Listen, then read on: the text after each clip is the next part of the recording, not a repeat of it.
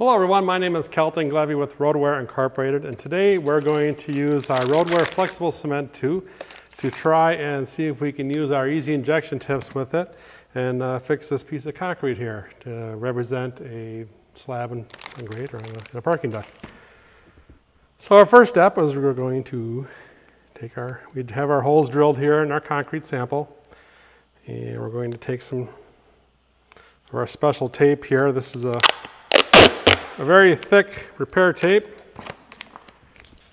And it holds on to the concrete a little bit better, but we're just going to tape it right on over top of our holes like this. And then we're going to take our razor blade and we're going to cut a little slit right in every hole, just like so. Now this is our Roadware Flexible Cement 2. It is a product that we made for, oh, almost over 20 years.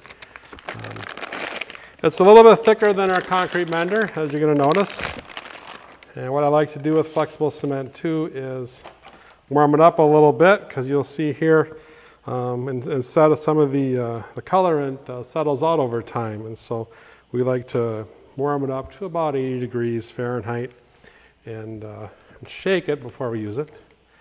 Um, if you can, I don't know if you can hear this in here, but there's a steel metal ball inside the, this side here that's going to help me. There it is loosen everything back up and get everything all mixed up, ready to go. So you want to shake this back and forth like this. Um, I've already preheated the cartridge, so it's, uh, it's nice and warm for me. That'll help it settle a little bit quicker too, but it also makes the product thinner. Um, like that, so I'll just go back and forth a few times. Flexible cement 2 is a two-part polyurethane, but it also it has a little more give to it. It has uh, some elongation properties. I'll put that in the specs below, but I believe it's about 170% movement. About as hard as a rollerblade wheel, if you imagine that. Um, very similar technology. So, okay, so it looks like you got that much more uniform in color. So we're gonna always put on our gloves. When we're working with products like this, you don't want to get it on your hands.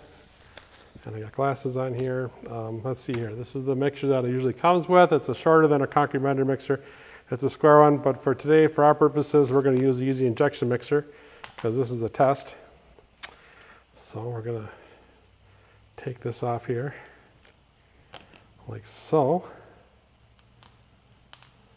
Move these two little D plugs. You can see that. Just like that, no flow restrictor. This just goes straight on. Nut goes on the top. And we're ready to go.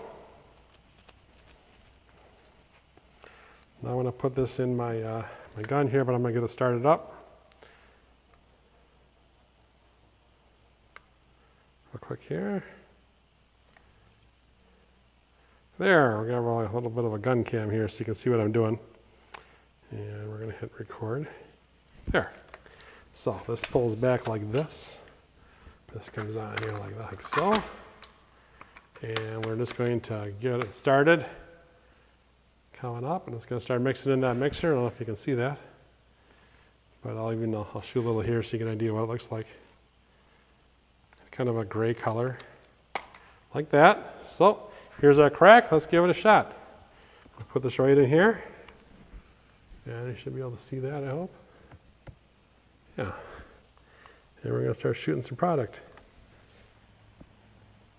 And you can see it goes through the end of that crack. It's going to fill that up, just like that.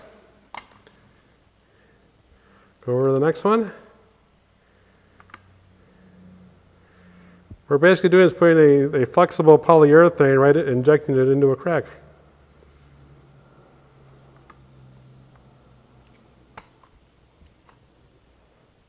Go back over to here.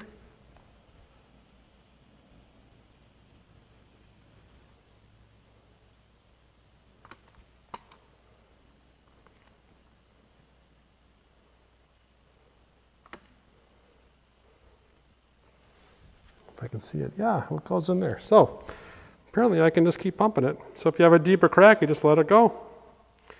Fill it up like that. And there. Interesting.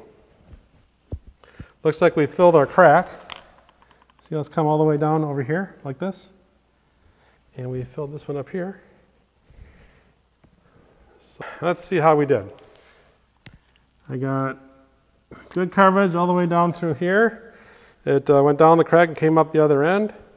Uh, product is going to be setting pretty quickly. Just to give you an idea.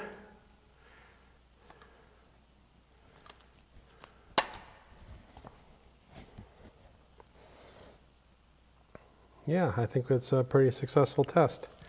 Okay, now we're going to let it sit for about 20 minutes. We're going to pull the tape and then we're going to see how we did. Well, it's been a couple hours since we made our repair and let's take a look and see how we did.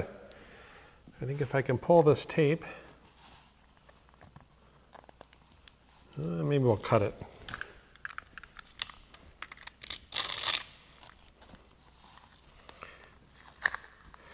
As you can see, I think we did pretty good.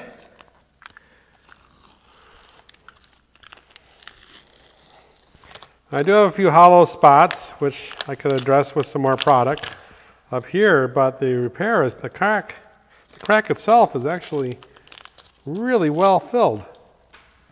If you look here, it went all the way down in here, got down below, started running down here. This is all filled in here. I have a few little open holes here, but I wasn't too careful. I should have added some more product in it. But all in all, I think it's a pretty successful and possible repair to do injection with flexible cement 2, as long as you have uh, enough you know, width of a crack. This one was about a 16th of an inch, I would say, in, uh, in, in, depth and width, so it was a little bit bigger. Um, but yeah, and actually, I think we could actually uh, take a razor scraper to this. Let me grab one here real quick. And here we can just take it like this. Shave it off.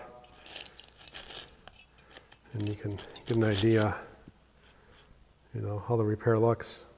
And yeah, it went right in there very nice and tight. So that would be our repair using flexible cement and the easy injection system. You need to have an open crack, that's about a 16th of an inch, and uh, the clear tape. Drill the holes into the crack and, uh, and go with it. Makes a pretty good repair. Comments, please leave them below. Please subscribe to our channel, and we'll see you next time.